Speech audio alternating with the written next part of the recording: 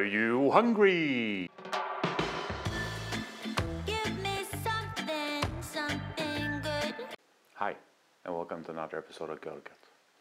Today we're not really cooking, but we're making a condiment. We're making furikake, which is um, in essence Japanese rice seasoning.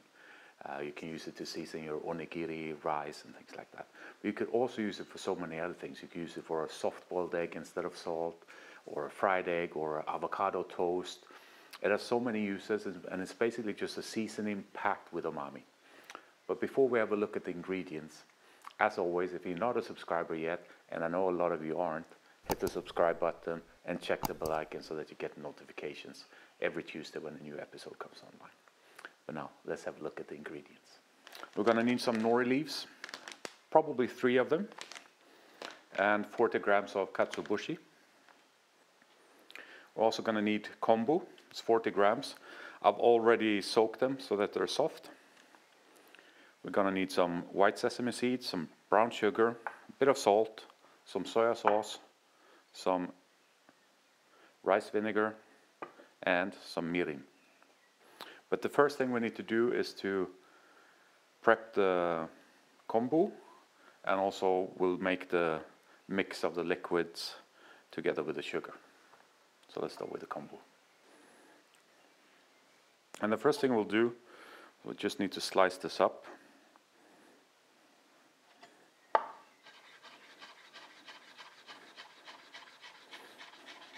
Just relatively thin slices like that. I'll see you when that's done. So we're done with that. Next thing we need to do is to mix up our liquids.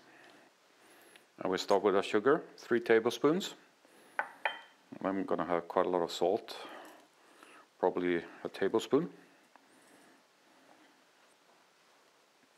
And we'll go for a soy sauce, three tablespoons.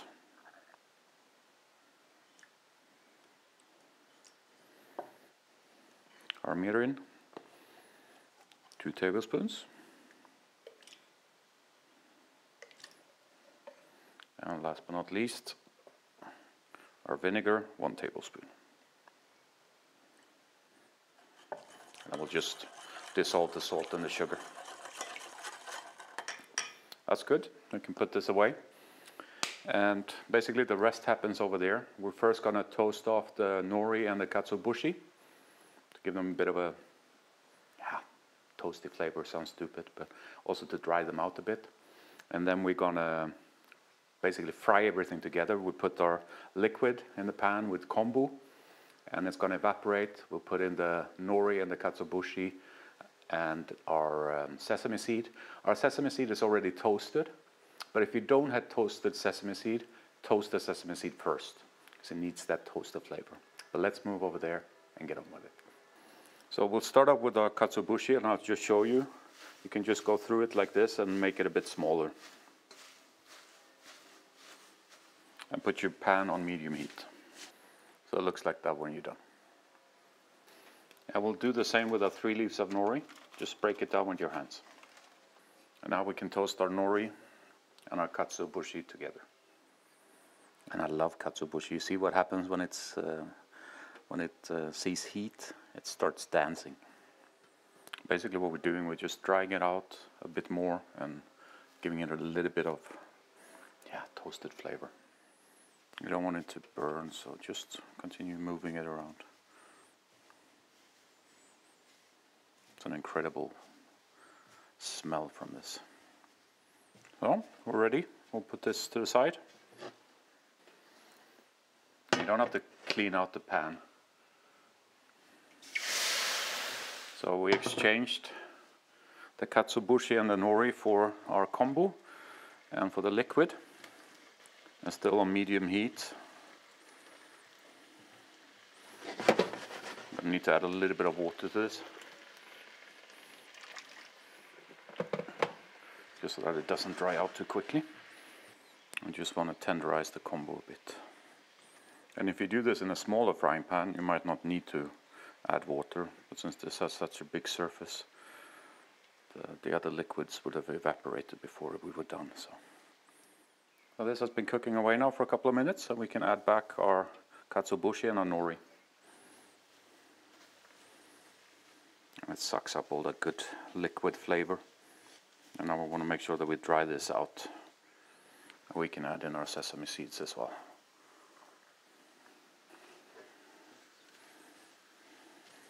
Now most recipes you'll see they probably add the nori at the last stage, but I prefer just to put everything in at once.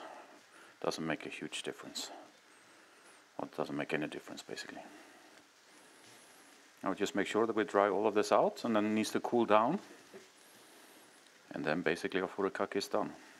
So we turn off the heat, remove it from the heat, and we'll let it cool down. I'll see you in a bit. So our furikake mix has cooled down. Just gonna give it a try. Umami bomb. Now at this stage you can mix in a bit of salt and we're gonna do that.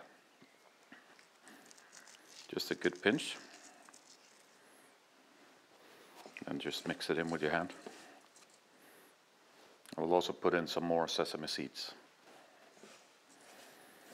But furikake is one of these things, anything goes. Whatever you prefer, you can put some dried shiitake in there. You can put a bit of chili in there if you want it a bit spicy. Mix and match as you please. Let's give this another try.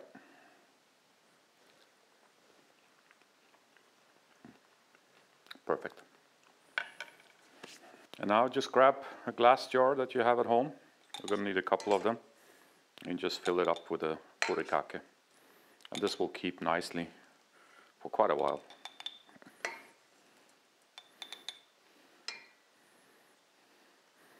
That's a furikake.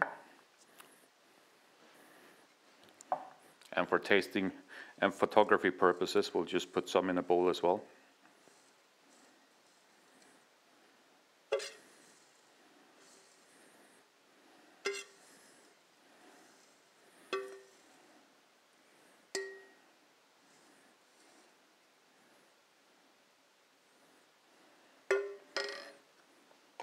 I will give this a try. Obviously this is not a dish that you normally just eat with a spoon, but since I always taste what I'm making. This, just like on a Sunday morning, soft boiled egg, a bit of furikake on it. Magic.